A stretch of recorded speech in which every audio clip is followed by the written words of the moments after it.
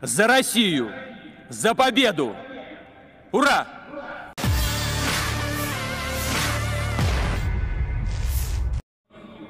За Россию! За победу! Ура!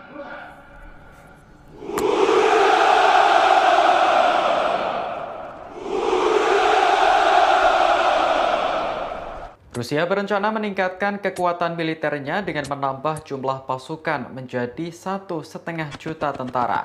Menurut Rusia, hal ini dilakukan menyusul ketegangan dengan negara-negara barat.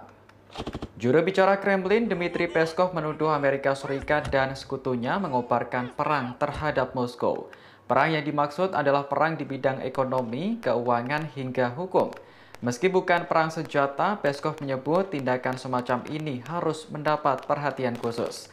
Salah satunya dengan meningkatkan pertahanan untuk memastikan keamanan negara.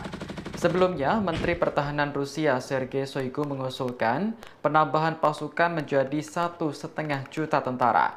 Usulan itu juga telah disetujui oleh Presiden Rusia Vladimir Putin pada 21 Desember lalu.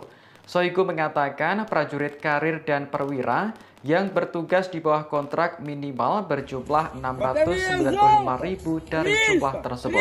Sementara sisanya terdaftar melalui wajib militer. Soigu mengatakan penambahan jumlah pasukan ini akan berlangsung mulai tahun ini hingga 2026.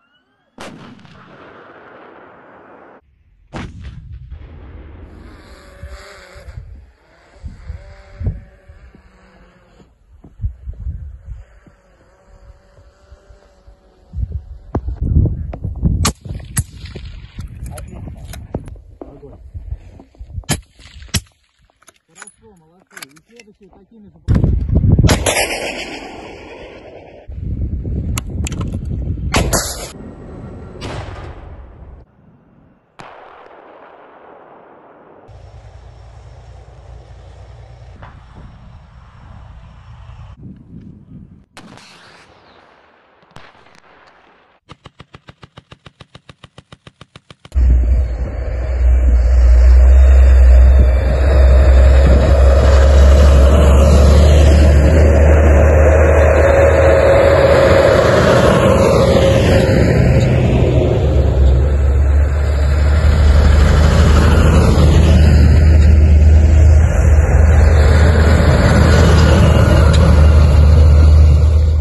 Terima kasih sudah nonton.